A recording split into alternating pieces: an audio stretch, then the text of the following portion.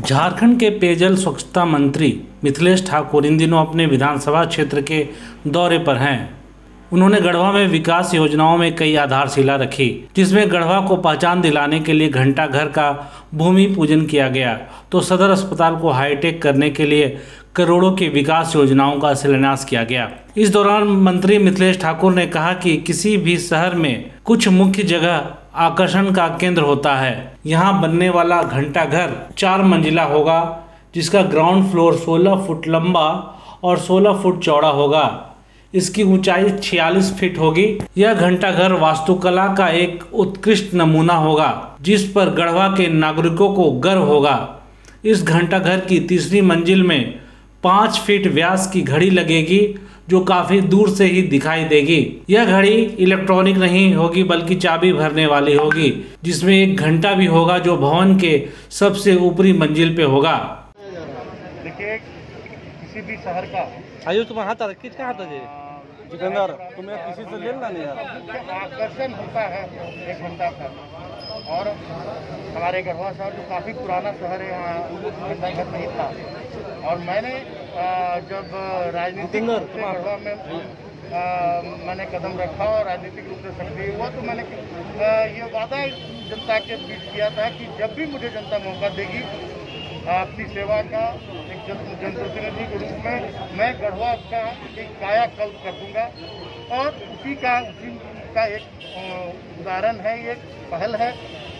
कि घंटा घर यहाँ पर एक निर्मित हो रहा है, जो आकर्षण का केंद्र होगा।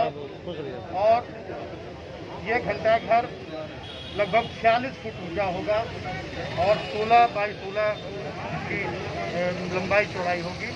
और तीन मंजिला ये घंटा घर होगा और इसमें पाँच फीट व्यास का ये घड़ी होगी जो इलेक्ट्रॉनिक नहीं होगी। वो पूर्णतः चाबी वाली खड़ी होगी और नीचे उसका कंट्रोल होगा। और चारों ओर इधर घंटा करके चारों ओर अच्छी तरह से फाउंटेन से और अन्य माध्यमों से इस पार्कों की लोग यहाँ आकर और इसे निहारेंगे। और पूरे हमारे राज्य ही नहीं, हमारे अड़ोसी पड़ोसी राज्यों में भी इस घंटा घर की चर्चा होगी। लोग आकर यहाँ अपना समय व्यतीत कर पाएँगे। इस दौरान उन्होंने गढ़वा सदर अस्पताल को हाईटेक बनाने के लिए दो करोड़ अस्सी लाख की लागत से सदर अस्पताल के जीर्णोद्वार की आधारशिला रखी। इसमें सदर अस्पताल के चारों तरफ़ सुंदरीकरण किया जाएगा। मौके पर उन्होंने गढ़वा नगर परिषद के वार्ड संख्या सात में विकास केंद्र के भवन का शिलान्यास किया। और उन्होंने कहा कि गढ़वा सदर अस्पताल को हाईटेक बनाने के लिए हम दृढ़ संकल्पित हैं। यह राज्य का पहला अस्पताल होगा जिसमें सारी सुविधाएँ उपलब्ध रहेंगी। क्या चीज़ का शिलान्यास हो रहा है? देखिए ये हमारे लिए तो गर्व की बात है ही। मैं अपने आप को गौरवान्वित महसूस करता हूँ। और पूरे गढ़वा ज़िले के लिए गर्व की बात है कि जब भी मैं हमारा गढ़वा प्रवास होता है तो गढ़वा सदर अस्पताल के नाम एक नया अध्याय जुड़ जाता है। और आज गढ़वा सदर अस्पताल के जीर्णोद्धार का मैंने शिलान्यास किया है। इसकी कायाकल्प बदल, बदलने का हमने बीड़ा उठाया था और हमने